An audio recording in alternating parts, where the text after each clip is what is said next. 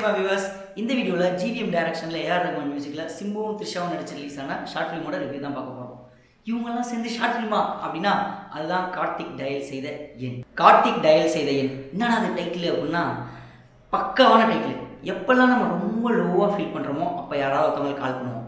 அந்த ஒருத்தர் யார்? அப்படிங்கிறது தான் கதை. அதான் விஷயம். ஸோ கார்த்திக் ஆப்வியஸாக யார் கால் பண்ணியிருப்பாரு ஜெஸ்ஸிக்கு தான் கால் பண்ணுவார். இந்த படம் எல்லாருக்குமே கனெக்ட் ஆகுது அப்படின்னா அதுக்கு ஒரு காரணம் இருக்குது ஏன்னா நிறைய பேர் எனக்கு ரொம்ப பிடிச்சிருக்கு அப்படின்னு ஸ்டேட்டஸ்லாம் எடுத்து போடுறாங்க. நம்ம ஊரில் வந்து சேர்ந்த லவோட பிரிஞ்ச லவ் தான் ரொம்ப அதிகம். அந்த லவ் தான் வந்து பா ஒரு எப்படி சொல்கிறது பெயின் ஃபீல் எல்லாமே கூட. இப்போ ரீசெண்டாக அந்த குவாரண்டைன் டைமில் பார்த்தீங்கன்னு வச்சுங்களேன் நம்ம சும்மா இல்லாமல் நம்ம எக்ஸுக்கு ஃபோன் பண்ணி பார்ப்போமா மெசேஜ் பண்ணி பார்ப்போமா அப்படின்னு சொல்லிட்டு ஏதாவது ஒன்று பண்ணி வச்சுருப்போம். இன்றைக்கி ஒரு நேற்று இப்போயோ பண்ணியிருப்பீங்க உங்களுக்குலாம் இந்த படம் உங்களுக்காகவே எடுத்த மாதிரி இருக்கும். உங்களை நீங்களே பார்ப்பீங்க. அதை அழகாக காமிச்சிருப்பார் பி நம்ம ஜிவிஎம் சிம்பு வந்து ஃபோன் எடுப்பார். ஃபோன் எடுத்துகிட்டு ஃபோன் பண்ணலாமா வேணாமான்னு அந்த யோசிக்கிற செகண்ட்லேருந்து ஃபோன் அவங்க அட்டன் பண்ண உடனே அவர் ஹலோன்னு சொல்ல மாட்டார். அப்படி வெயிட் பண்ணுவார். அங்கெல்லாம் உங்களை நீங்களே பார்ப்பீங்க. சரி பசங்க எந்த அளவு தன்னோட எக்ஸை பற்றியோ இல்லை சண்டேல கேர்ள் ஃப்ரெண்டை பற்றியோ ஸ்டாக் பண்ணுவாங்க அப்படின்னு ஒரு சின்ன விஷயத்தில் கன்வே பண்ணியிருப்பாங்க.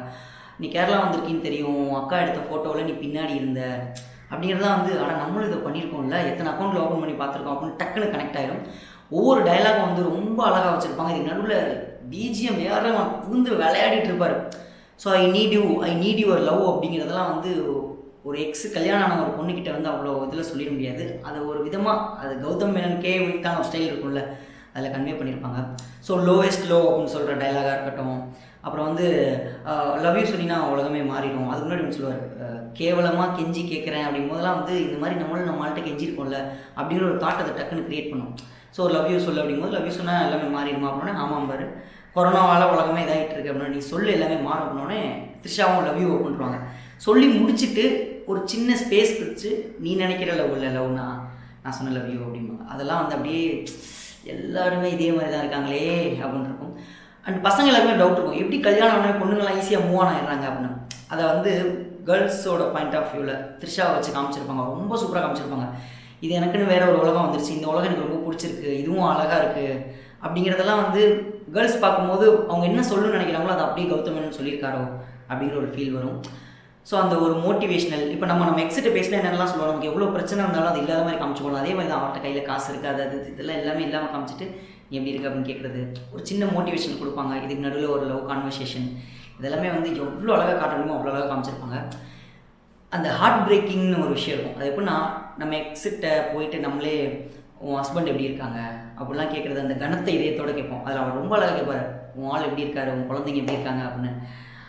அதெல்லாம் வந்து ஃபீல் பண்ணவங்களுக்கு மட்டும் தான் தெரியும். அது நடந்துருந்துச்சு அப்படின்னா இந்த இடத்துல நீங்கள் உங்களை பார்த்துருப்பீங்க. சரி முடிக்கும் போது வந்து வழக்கமாக ஏதாவது ஒரு விஷயம் வந்து அவங்க சொல்கிறது இருக்கும். அதை சொல்லாமல் வச்சுருவாங்களோ அப்போ நம்ம வெயிட் பண்ணிகிட்டு இருப்போம். அதே மாதிரி தான் இதுலேயும். இதில் வந்து சிம்பு வழக்கமாக ஒன்று சொல்லுவே அப்படிம்பாரு.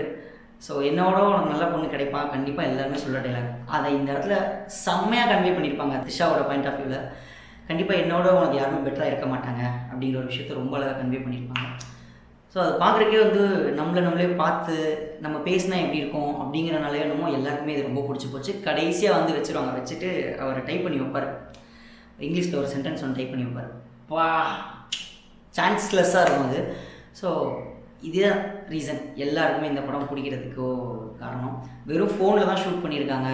எப்படி சொல்கிறது லிப்ஸிங் அங்கங்கே மிஸ் ஆனால் கூட அது அவ்வளோ பெரியது இல்லை. ஏன்னா டெக்னிக்கலாக ஒன்றும் பெருசாலாம் இது பண்ணல. வெறும் ஃபோனை வச்சே பண்ணியிருக்காங்க. எனக்கு சின்ன உறுத்தலாக பட்டது என்னன்னா கௌதம் மேனன் ஃபேன்ஸ் எல்லாருமே போட்டிருக்கோம். என்ன கிளாஸ் எடுத்தாலும் கடா போட மாட்டார் சிம்புக்கு. அதுதான். மற்றபடி ஓவராலாக இந்த குவாரண்டைனில் நீங்கள் பார்த்துட்டு கண்டிப்பாக உங்கள் எக்ஸுக்கு கால் பண்ணுவீங்க. அந்த மாதிரி ஒரு ஷார்ட் ஃபிலிம் தான் அது.